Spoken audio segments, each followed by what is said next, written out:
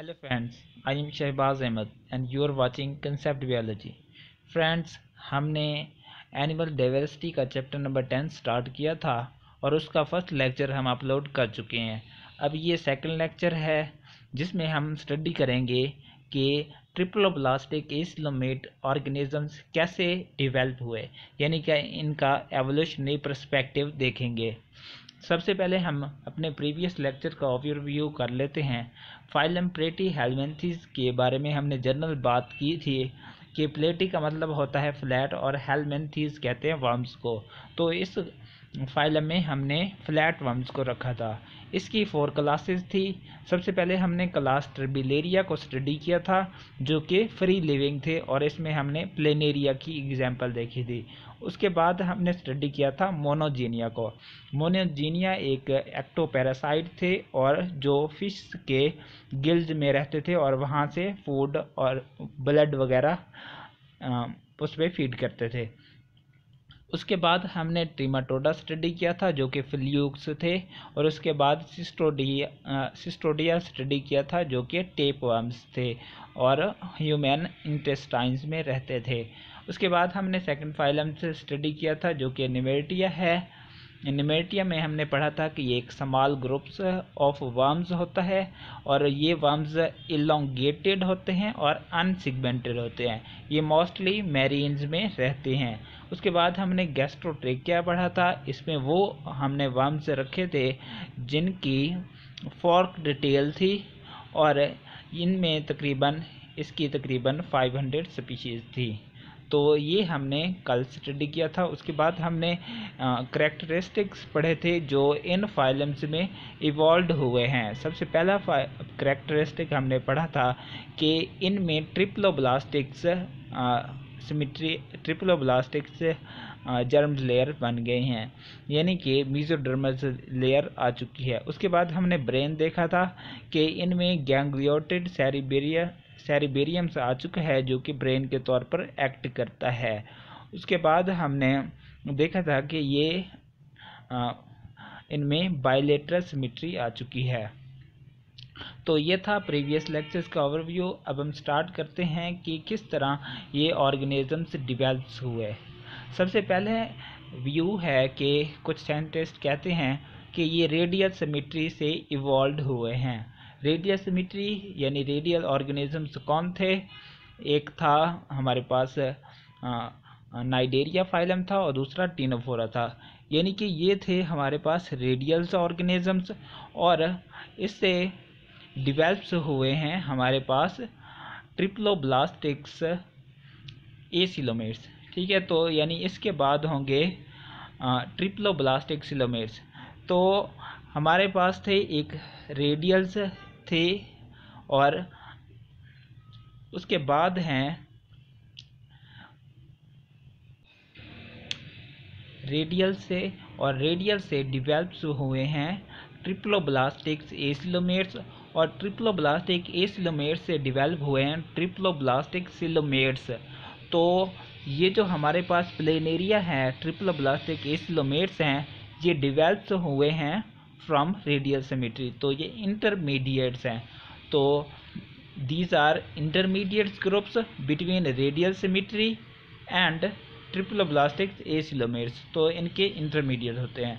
अब कहा यह जाता है कि जो, ये जो हमारे पास रेडियल सिमेट्री वाले ऑर्गेनिजम्स थे, जैसा कि हैड्रा था तो हैड्रा का जो लार्वा होते हैं, उसे कहते हैं प्लेन्यूला लार्वा और वो प्लेन्यूला लार्वा होता है उसकी ये जो सिमेट्री अगर देख रहे हैं तो ये होता है बायलेटरल सिमेट्री का।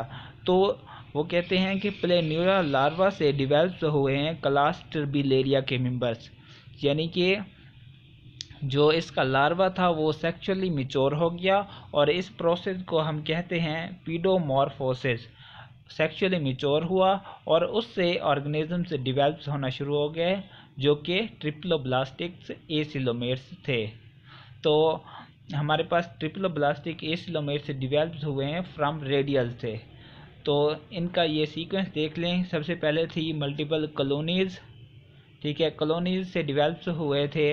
हमारे पास रेडियल सिमिट्री वाले ऑर्गेनिज्म और रेडियल सिमिट्री से डिवेल्प हो रहे हैं हमारे पास ट्रिप्लोब्लास्टिक्स ए सिलोमेट्स तो ये था फ़र्स्ट व्यू यानी कि ये डिवेल्प हुए हैं फ्रॉम रेडियल सिमिट्री से। उसके बाद ये देख लें कि ये हमारे पास नाइडेरिया था, जो कि था डिप्लोब्लास्टिक्स रेडियल सिमिट्री और इससे आगे डिवेल्प हो रहा है प्लेटी हेलमेंथिस जो कि ट्रिप्लोब्लास्टिक्स एसिलोमेट्स हैं। और आगे हैं निमेट नेमाटोडा ठीक है, जिसे हम राउंड वर्म्स भी कहते हैं। तो राउंड वर्म्स डिवेल्प हो रहे हैं फ्लैट वर्म्स से, यानी प्लेटी हेलमेंथिस से डिवेल्प हो रहे हैं। तो इनमें जो होती है, और ये इंटरमीडिएट्स हैं between the radial symmetry and आगे सीडोसिलोमेट्स ऑर्गेनिजम्स के इंटरमीडिएट्स हैं। तो ये था फ़र्स्ट व्यू अब नेक्स्ट व्यू देख लें।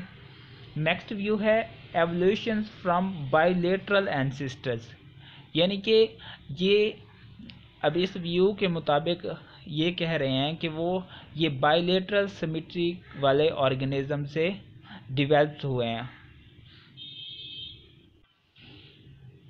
इस व्यू के मुताबिक एक सेल था जो कि सेंसेशियम था, जैसे कि पैरामीशियम होता है और वो एक मल्टी न्यूक्लिएटेड होता है।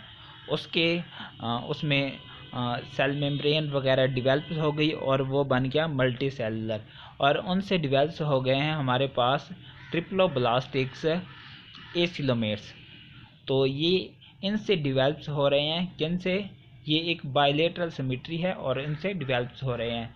फार्मिड फ्रॉम बाइलेटरल एंसिस्टर ये बाइलेटरल एंसिस्टर थे तो इनसे डिवेल्प हो रहे हैं. और इनसे आगे डिवेल्प हुए हैं रेडियल सिमिट्री तो अर्लियर देन रेडियल फाइलम और रेडियल फाइलम्स डिवेल्प हुए हैं फ्राम दैम्स तो इनका सीक्वेंस देख लें। सबसे पहले सेंसेशियम था, जो कि एक मल्टी न्यूक्लिएटेड सेल होता है और उससे डिवेल्प हुए हैं हमारे पास बाइलेटरल ट्रिप्लोब्लास्टिक ये डिवेल्प हुए हैं और इनसे फिर बाद में डिवेल्प हुए हैं रेडियल सिमिट्री यानी कि जो नाइडेरिया और टीनोफोरा है, वो इन प्लेटी हेलमेंथी से डिवेल्प हुए हैं, इस व्यू के मुताबिक। उसके बाद हम देख लेते हैं नेक्स्ट व्यू जो कि हमारा लास्ट व्यू है। Acoelomates derived from coelomates अब कहा जाता है सिलोमेट्स कहते हैं बॉडी कैविटी को, ठीक है? तो अब हमारे पास कुछ ऐसे एनलीडा के ग्रुप्स मिले हैं जिन में जिन में जिनके करेक्टर और फ्लैट वम्स के करेक्टर सिमिलर थे। तो अब ये कहा जा रहा है कि जो सिलोमेट्स हैं, यानी कि एनलीडा हैं, उनसे डिवेल्प्ड हुए हैं हमारे पास फ्लैट वर्म्स ठीक है? तो एनिलीडा ग्रुप से डिवेल्प हुए हैं। एनिलीडा हैं, हमारे पास सिलोमेट्स हैं। सिलोमेट्स कौन हैं? एनिलीडा हैं। और ए सिलोमेट्स कौन हैं? फ्लैट वर्म्स हैं।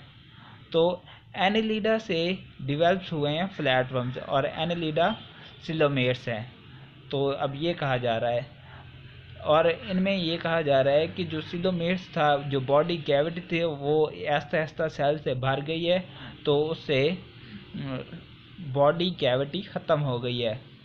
फॉर्मेट फ्रॉम सिलोमेट्स, यानी कि बॉडी कैविटी वाले ऑर्गेनिज्म से ये ए सिलोमेट्स डिवेल्प हुए हैं।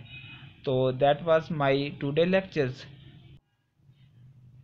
and thanks for watching